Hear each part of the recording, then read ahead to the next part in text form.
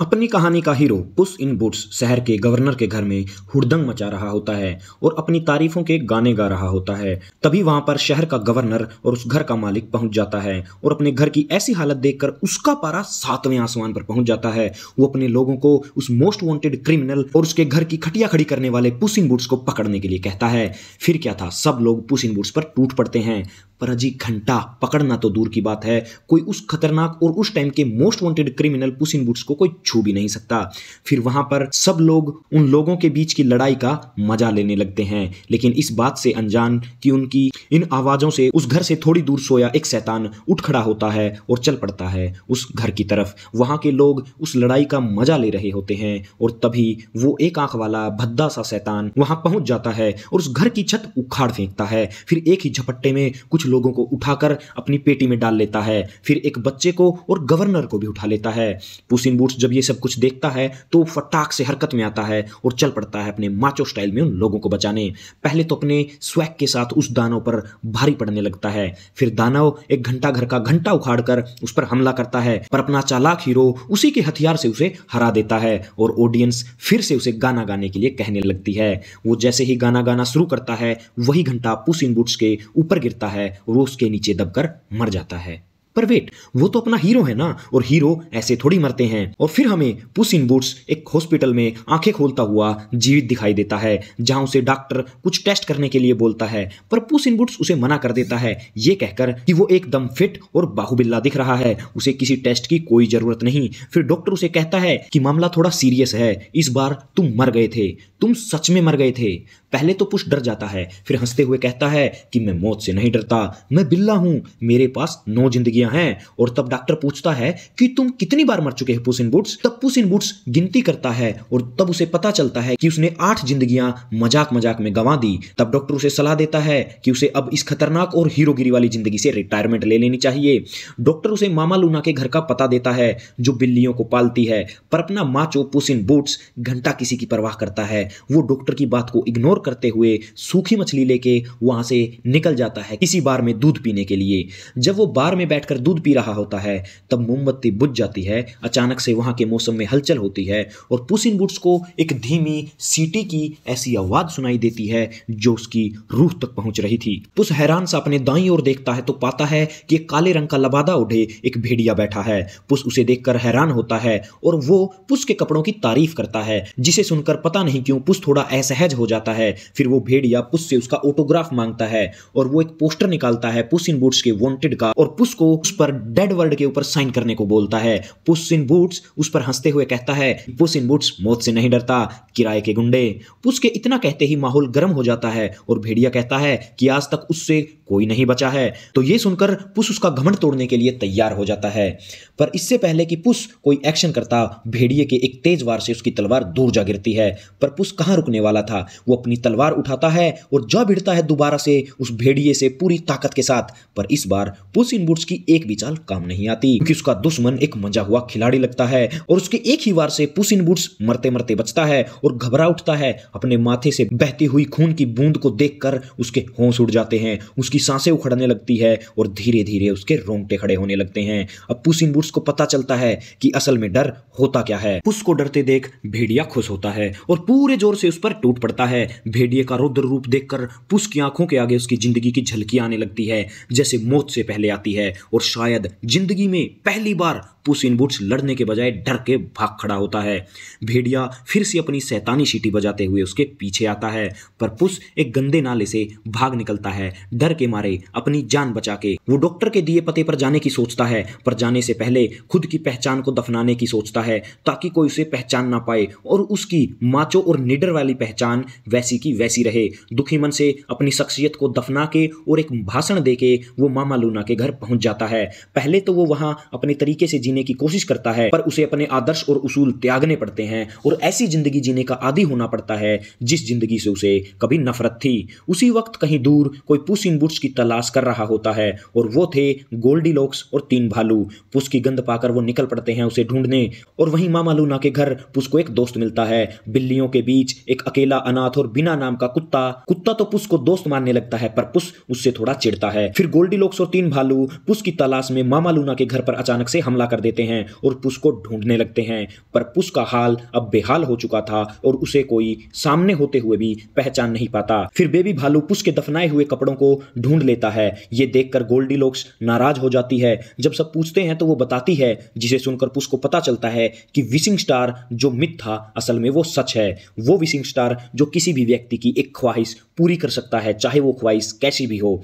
और उस तक पहुँचने वाला जो मैप है, वो जैक हॉर्नर के पास है। ये नाम सुनकर पहले तो पुस डर जाता है, पर वो नौ जिंदगियाँ वापस पाने की चाह उसे अब वापस से उस नॉर्मल बिल्ले से पुस इन बूट्स बना देती है और वो चल पड़ता है नक्शा चुराने के लिए अपने कुत्ते दोस्त को पीछे छोड़कर और पहुँच जाता है जैक हॉर्नर के घर पर और उसका कुत्ता दोस्त भी किसी न किसी तरीके से उसका पीछा करते हुए वहाँ पहुँच जाता है।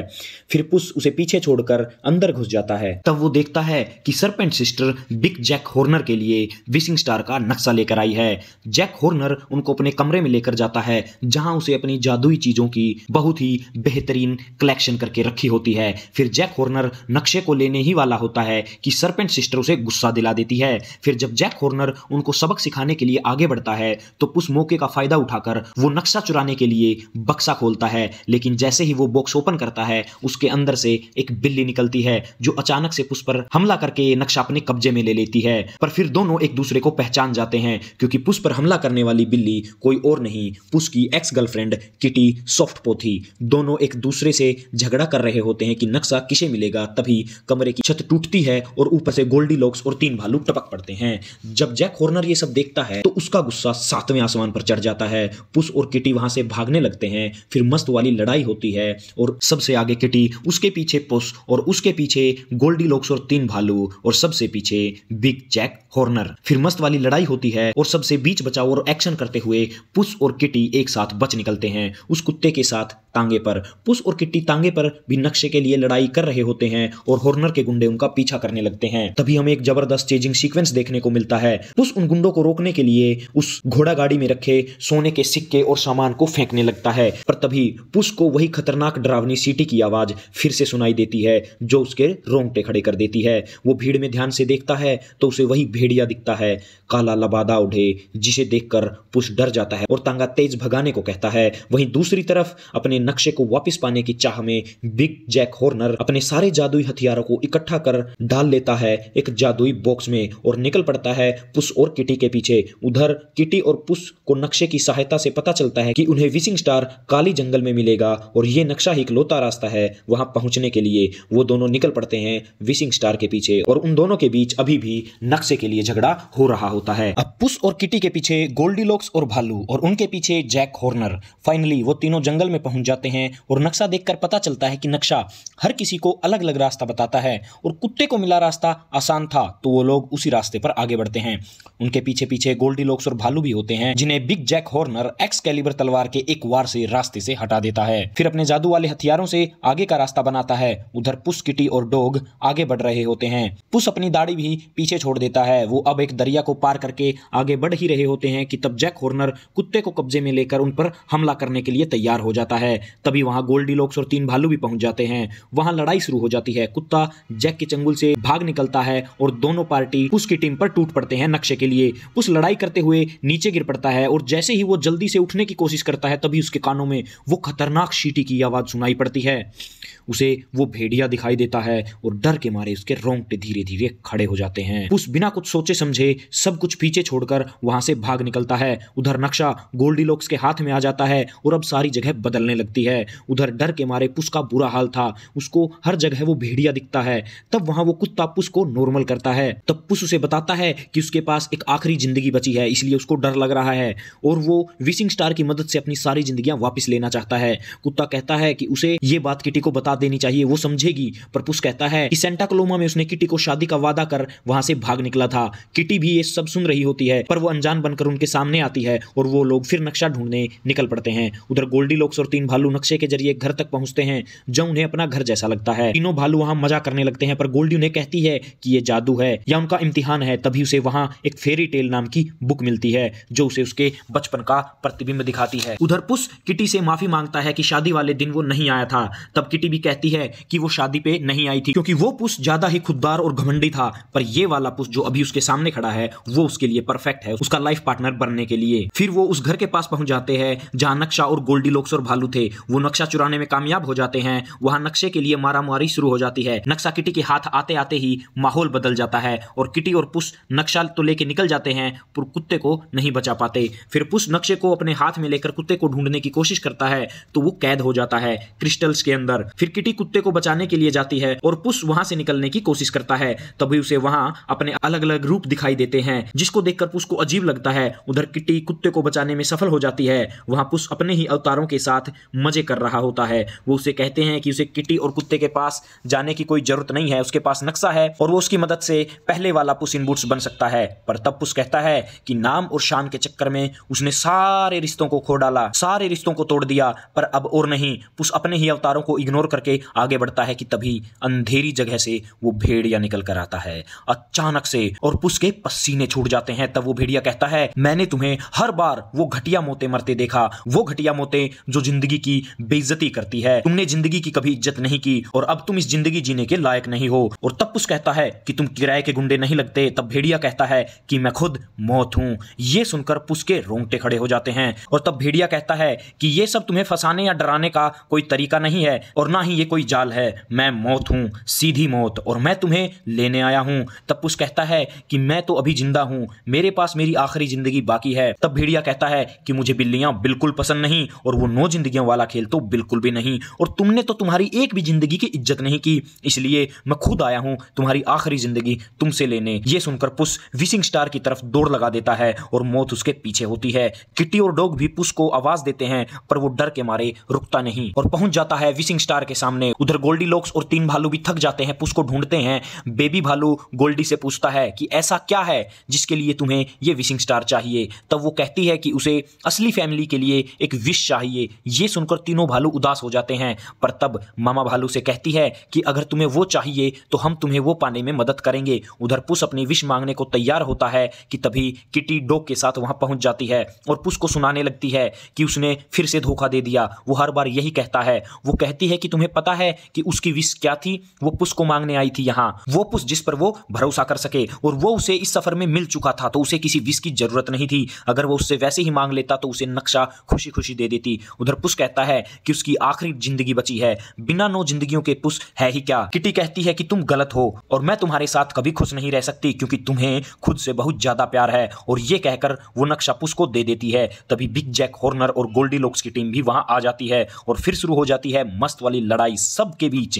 कभी कोई किसी पर भारी तो कभी कोई किसी पर भारी। और तभी गोल्डी लोक्स बेबी भालू को बचाने के लिए नक्शा छोड़ देती है। फिर हॉर्नर के पास नक्शा आ जाता है और तभी किटी उसे मस्त वाली किक मारती है और वो अपने खुद के ही जादुई बैग में जाकर गिर जाता है। फिर डॉग वो नक्शा पुस्तक पहुँचा देता है और कहता है कि मेरे पास तो सिर्फ़ एक ही ज़िंदगी है। तुम्हारे और किटी के साथ बिताए हुए वो पल मेरी ज़िंदगी को एक मकसद देते हैं और मुझे और जिंदगियों की कोई ज़रूरत नहीं है। उस इन बातों को ध्यान से सुन ही रहा होता है कि फिर तभी वहीं पर वो भयंकर सीटी की आवाज़ दोबारा से सुनाई देती है और साक्षात मौत होती है पुश के सामने। मौत एक ही बार में पुश और खुद को एक आग के घेरे में ले लेती है। तब मौत अपने प्रचंड रूप में आकर कहती है कि शिकार पकड़ा पकड़ी करने में मज़ा आया। पर अब काम को अंजाम तक पहुँचाने का समय आ गया है। तुम इस बार फिर बुजदिली की तरह पीठ दिखाकर भागोगे या लड़ोगे? ये कहते हुए वो पुश की तलवार उसके आगे फेंक देता है। मौत को आगे बढ़ता देख पुश घबरा जाता है और उसकी ज़िंदगी उसकी आँखों के आगे से गुजरने लगती है, जैसे मरने से पहले इंसान के साथ होता है। फिर पुश खुद पर कंट्रोल करने की कोशिश करता है और अपनी ज़िंदगी के अच्छे मूवमेंट्स याद करने की कोशिश करता है और फिर होता है चमत्कार और पुश बन जाता है वापिस से पुश इन बूट्स वो बिल्कुल निडर, बहादुर और मौत का सामना करने को तैयार पुस इन बूट्स, क्योंकि पुस ये ज़िंदगी मौत को ऐसे ही नहीं देने वाला था। वो लड़ाई करने वाला था अपनी इस आखिरी ज़िंदगी के लिए। यही वो ज़िंदगी थी जिसमें वो जीने का असली मकसद सीखा था और अपने अंदर का साहस बटोर कर वो भिड़ जाता है मौत से। मौत को टक्कर देते हुए वो बहादुरी से लड़ता है। मौत उसकी तलवार और टोपी को गिरा देती है, पर पुस अब नहीं डरने वाला था। वो अपने माचो अंदाज से दोनों ही चीज़ों को वापस ले लेता है और अपने हुनर से मौत पर भारी पड़ने लगता है। पुस का जूता और मौत का मुँह, और अब पुस का ये रूप रूप देखकर मौत भी हैरान थी। और इस बार वो पुस की ज़िंदगी को लेकर जिद समझ जाती है। वो समझ जाती है कि पुस को ज़िंदगी के मायने समझ आ गए हैं। इसीलिए वो इस तरह बेतहाशा और निडर होकर लड़ रहा है। और मौत चिड़ते हुए कहती है कि क्लाइमैक्स में हीरो के पास इतनी ताकत कहाँ से आ जाती है?